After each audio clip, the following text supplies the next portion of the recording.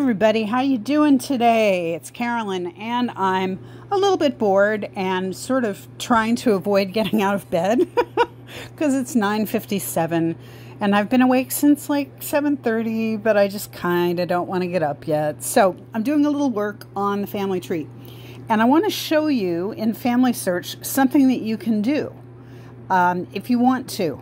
If you are tired of your own research if you've hit a brick wall but you still want to be working in genealogical ways and maybe picking up new skills, sharpening the skills that you have, I've got something for you. This is, um, let me actually back it up. Okay, so this is my phone. Wait, sorry. This is my phone with the catfish, the cat-faced fish, which I totally freaking love. And um, so I'm going up to my family history window. It's got uh, all my family history apps in it. And the family tree app is the family search app. And I like it best for working on family search because it's a quicker way to get a lot of things done. Um, there are a lot of problems, I think, with the PC interface with the, or maybe just the web-based interface and so this does away with a lot of them. Vinelink by the way is is a way of looking up um, people who are being held in uh, state or i believe federal also custody. Um, so you can look for folks who are in jail. Tools is a, uh, an app for um, accessing stuff for church. My heritage is obviously my heritage. And background check been verified is been verified and that's how you can look people up who are either alive or recently deceased and find out things like birth dates and um, where they're living now and the nexus of their relationships with relatives and um, other people, but but certainly with relatives. But family tree is what we want. So here I go. I'm tapping on it, and it immediately brings up my family tree.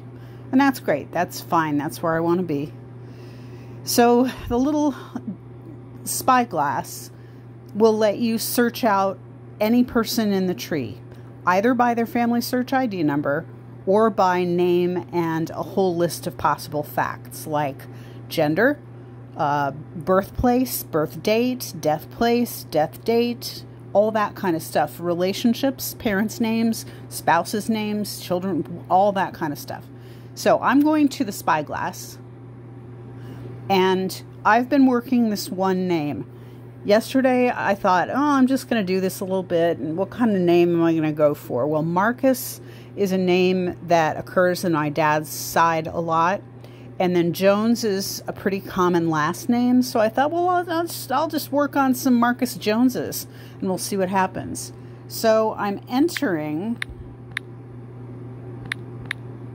Marcus Jones and male. I'm not putting in any other limiters. And look at what it pulls up. This is so bonkers. I hit find. There are 2 million people with the last name Jones in the shared family tree. You can see how many are where. We've got half of those people are in the United States. And then there's a bunch, like another quarter in England and another eighth in, in Wales. That's pretty cool. So what do we got? First person. This is what I do. I just go to the first Marcus Jones and I start poking around. So Marcus Preston Jones, I'm going to tap on his little blue face and it brings up his profile. And look at there, there are hints for him. The way that I can tell is that there is a little blue bubble with a white outline and scribble of a document next to his blue face. So what I'm going to do is I'm going to work these hints and we'll see what applies to him and what doesn't. But you can see that there's no birthplace and no death place. Maybe we'll find that. Maybe we'll find some other stuff. We can look here real quick. He's got one spouse with a bunch of kids, and then he's got a second spouse, Daniel Joseph, Daniel Joseph. Right there, there's something to fix. I want to look at Daniel Joseph Jones here. See, he's listed here with no mom, but then he's also listed in the list with the other kids. So I'm looking at the ID number G7RS, G7RS, G1N, G1N. It's the same version of Daniel Joseph Jones. There's not a duplicate there. All I have to do is nick out the unknown spouse version of Daniel Joseph Jones and Marcus Preston, Preston Jones and his wife and kids are all listed up like they're supposed to be. How do you do that? Little pencil. The little pencil at the end of Daniel Joseph Jones' line, I tap on, and it brings up that there is dad, but it doesn't show that there's mom, and that's the one that we want to get rid of. We, we want him to be attached to both his parents, not to just one. So all you do is hit the remove, and then you can see a graphic of what it is. You're separating him from just his dad in this just his dad version. That doesn't separate him from the relationship with his dad and his mom. Those are considered two sets of relationships. And I just tap in the box on I have reviewed. I explain that this is a duplicate relationship.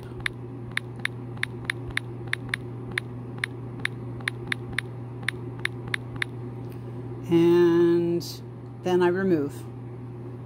Now, all of his kids are lined up under the one spouse, which is how they were. Because look, Daniel is in the middle of a run of children. And unless Marcus Pre uh, Preston Jones stepped out, this is all legit, right? And it looks pretty well worked because we've got birth and death dates and stuff like that. So, anyway, here we go. I'm going to look at the hints for Marcus Preston Jones and see if any of them are applicable to him. So I'm tapping on the little blue dot, and here we've got terrible spelling of Marcus Preston Jones. And, okay, so Fincastle and Botetourt. Okay, so here we go. So it's the same birthday. It's the military uh, registration, draft registration and Luvana Jones. We don't know who Luvana Jones is. I don't see his mom listed. Let's go see if he has a mom. I'm going to backwards arrow out of here and leave. And backwards arrow again. Parents. We don't have parents for Marcus. Sources. The earliest thing we have is a marriage certificate. I'm going to take a look at it. See if it lists his parents. Yeah, see? So somebody worked this. You see what happened? Somebody worked this marriage certificate and didn't bother to add Marcus's parents. Duh. And his mom is Luvina Dunbar, which would be Luvana Jones, because it's just a little spelling discrepancy between the two. And of course, her married name would be Jones. So let's add his parents. So we're going to add Ollie Preston Jones we look and see there is no Ollie Preston Jones. Richard Ollie was born in 43, and that's the age of Marcus's children, so it couldn't be the dad. So we're adding a new person, Ollie Preston Jones. Continue. He must be deceased because of the age, and we're adding the person. Now we're going to attach that record and move on. Here's mom, Luvina Dunbar. We're going to add her. There is no Luvina Dunbar. It's interesting that he, um, Marcus married a Dunbar, so there's a little cousin action going on here. So we're going to say no match. There's no match to Luvina in the tree as it, as it attaches to him. We're going to add her, continue. She's obviously deceased, and we're going to go continue and add. Basically saying a lot of yeses. Going to the bottom and saying attach. Now the record is attached to her. We have evidence to prove that this is how it works. And we're done. So now we can go back to the military draft record. Now the way the military draft records work basically was if the guy who was being who was being examined for draft was married, he would provide his wife's name as next of kin. But if he wasn't married, he might provide a sibling's name, he might provide dad's name, or he might provide mom's name. That's why my suspicions, my hackles immediately went up when I saw the name Luvana Jones because I thought, well, that sounds like it would be a mom, and because he's not married yet, and his wife's name is not Luvana. So, um, so it's Luvana or Luvina. We're not sure, but anyway, let's take a look. We're going back to the misspelled Marcus Preston Jones because Marcus is misspelled. It's either misspelled on the original record or it is actually a handwriting issue. So I'm going to stick with Luvina because that record is uh, potentially more solid. But here we go. Compare. All right, so now we've got Fincastle, uh, Virginia, as his birthplace, and he would have said to the person taking the draft information, the draft card information, he would have said, "Well, I was born in Fincastle." So that's a town rather than a county, probably.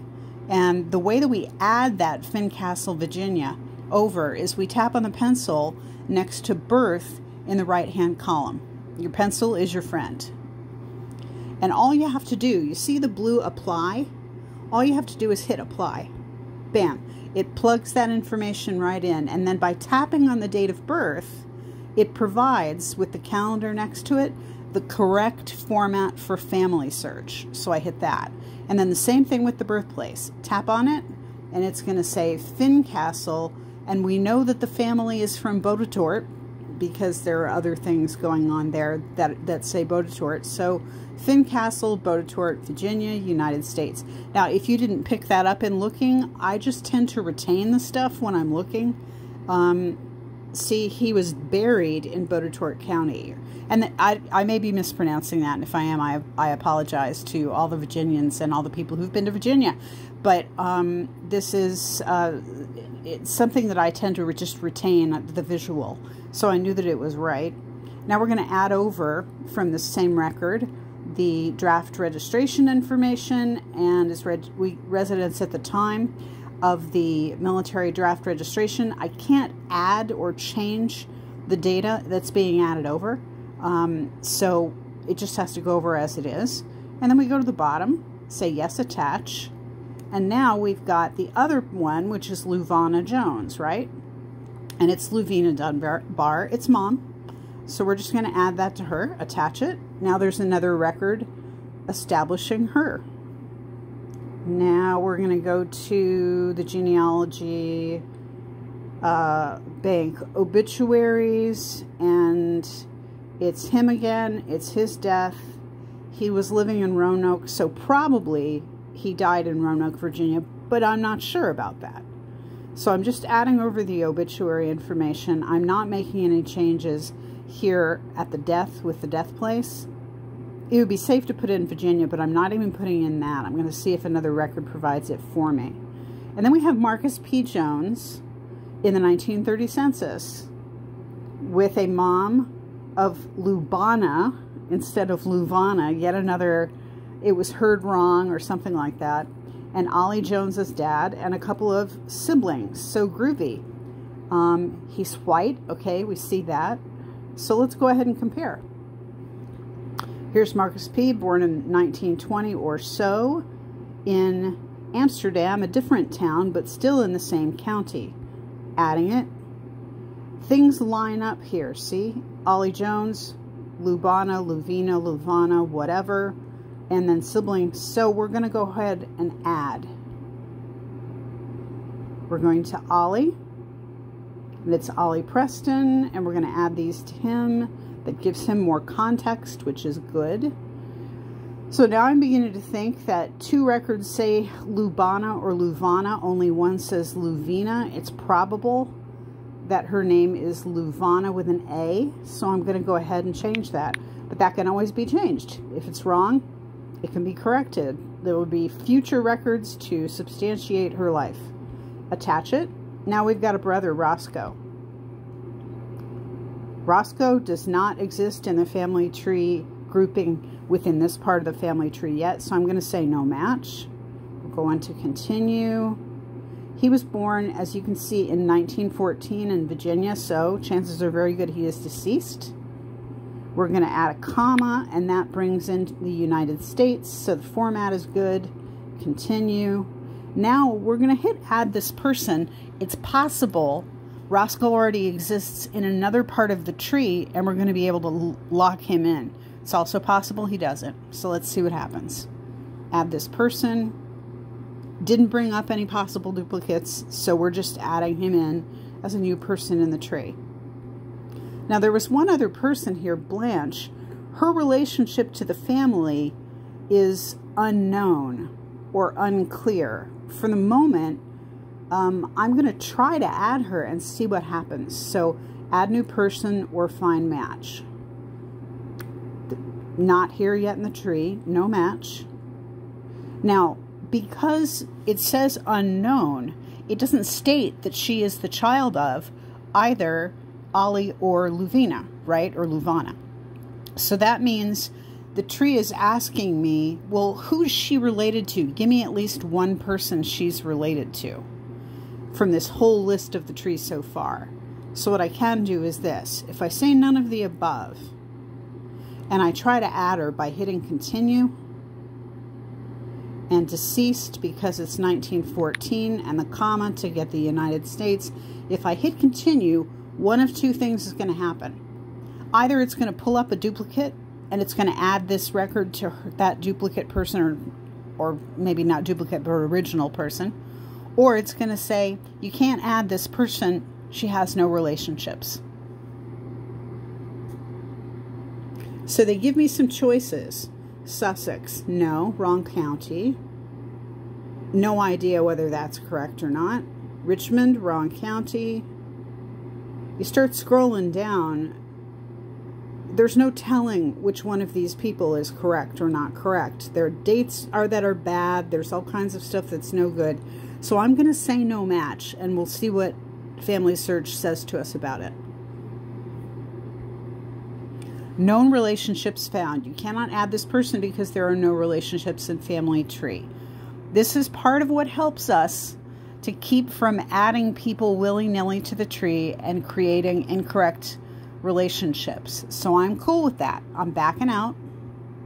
And what I leave this with, or yeah, how I leave this record is this particular person isn't attached to anybody yet. There's no relationship there yet.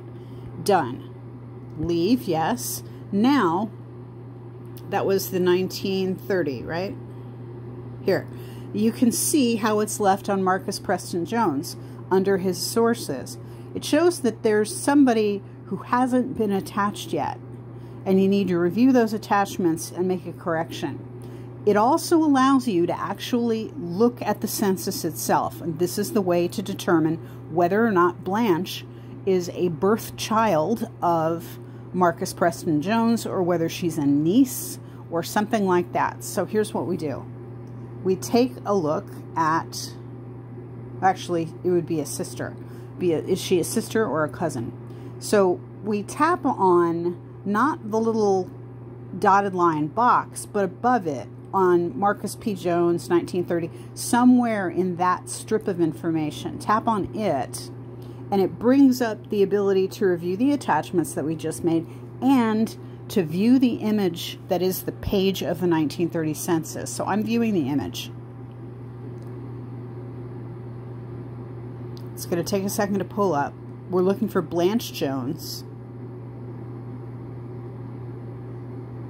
Jones, Blanche, she's a rumor. She's a rumor with the family. She's probably Ollie's niece, but we don't have any evidence of that. So I can't really act on that. I can't construct anything. What I can do is X out of here at the top and arrow back and just leave it there. It's going to be hanging there like this saying review attachments until the answer comes. And that's cool. So now we've worked all the hints that are there for Marcus. So let's work on his parents for a minute. Maybe we can take him backwards. Maybe we can hook him into the tree. Let's look at Ollie Preston Jones first. And let's see if there's anything there for him. First thing I'm going to do is I'm going to go in here and I'm just going to clean up the format. Add the United States to him. I'm going to do the same for his spouse. Just little picky things like this. They make the tree look better. they pass the time. What can I say? So what's attached to Ollie? Sources. We've got the 1930 census. He was born in 1880. That means there should be a 1900, a 1910, and a 1920 for him. So there should probably also be World War One draft registration information for Ollie because he's of the right age to have been required to register. So all we have to do is this. Search. Go to the triple dots in the upper right hand corner, tap on it, search records. Now you can search records because I'm me. I can search records in Family Search or Ancestry and, um, and that's pretty cool. And I'm going to choose Ancestry because the Ancestry records are easier to look at. Family Search does not pull everything up in as clean a way and it just makes me mad. So I'm tapping on Ancestry.com I'm, and it says, okay, get ready. We're taking you outside into your browser. I'm like, groovy. Search. So let's see what we have. Ollie Preston Jones, marriage records. Take a look. Luvina Dunbar, that was Marcus. Okay, so we're going to back out of there. We've already got that record. Back arrow it down at the bottom of the screen. There we go. Now, we've got the 1930 census, right? Same thing. 1930. We added that already, right? So we want to take a look, though. Blanche is listed as a roomer. And I'm not doing a lot of, you know, well, I'm going to look on the page before and the page after and try and figure out where the whole Jones family was. Jones is a common name. I'm doing bare minimum on this to just do a little improvement on the tree. I'm not selling my soul. Willie, nope. Ollie, not in Texas. Ollie P. Jones, Ollie Preston Jones. Let's look and see if this U.S. a, a find a grave is in fact him.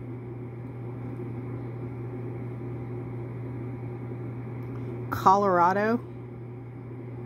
Mm, father, mother, spouse, William. Nope. I'm not liking that. Let's look at Preston Jones, Bedford, Preston Jones, Ollie Jones, Ollie Jones. But I'm looking at all of these different locations and they're not making a whole lot of sense to me. So I'm just leaving it behind. I've done what I can here. So that's cool. Um, the other thing that I'm going to do is I'm going to look at Luvana real quick and I'm going to do the same thing. I'll search records on Ancestry. Just see what pulls. Luvana Dosey Jones. Luvina Dunbar. Luvinia Jones. But it's Amherst. There are all these different... Luvania Dunbar. Let's look at that and see what that says. Ollie Jones, Marcus... So this says her name is Luvania. And here's the 1950 census for her, saying her name is Lorana. Oh my gosh, you guys, the indexing. It's tragic. Let's look at the 1950 census and see if this is her, by any chance. She's in Fincastle, and she is the mother who is... Okay, this record applies to her, but I have no way of taking it over I can't just transfer it over from Ancestry to Family Search. I'd only be able to do that if I attached it to her in an Ancestry tree and then transferred between two profiles. But what's good to know is that it's probably Luvana. Let's take a look at the document itself. And yes, I spend hours doing this, you guys, with the news on in the background and the cats cleaning each other and fighting. Yeah, that's not Lurana. That's Luvana.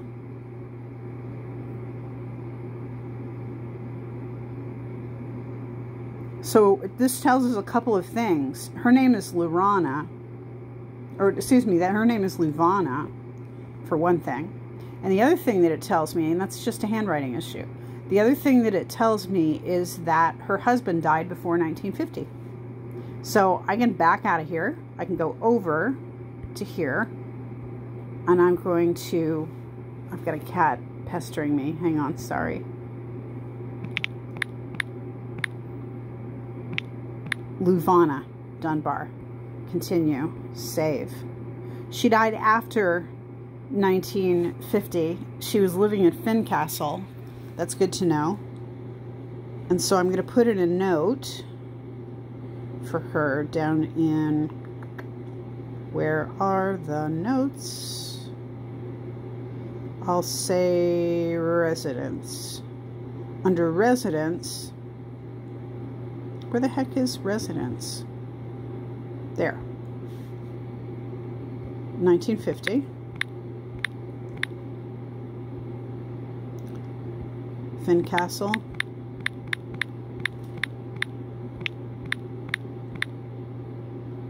Go to Virginia. And I'm going to say that this is per 1950 census.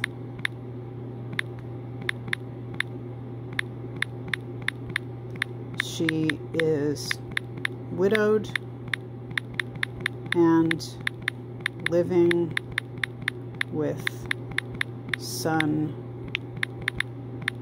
Marcus and his family. Groovy.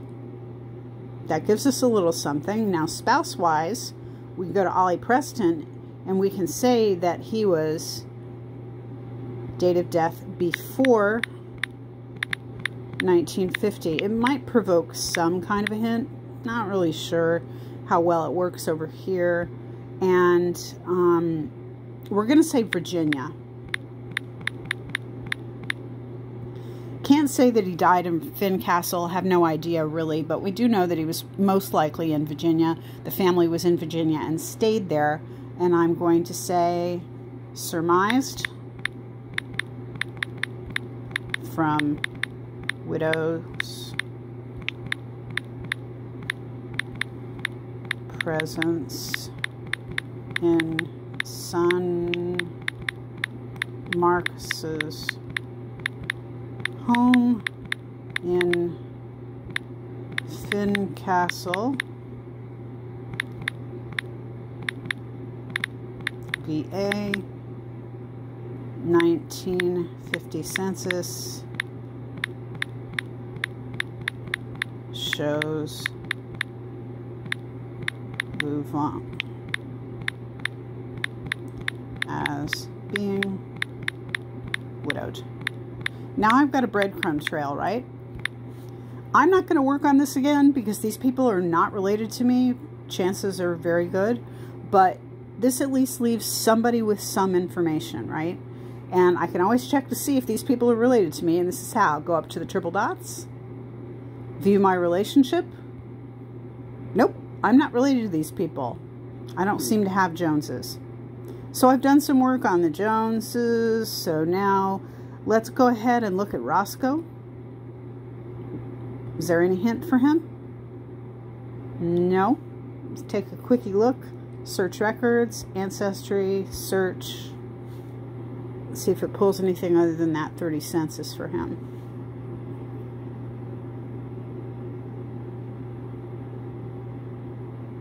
Here's the 30 census for him in Amsterdam.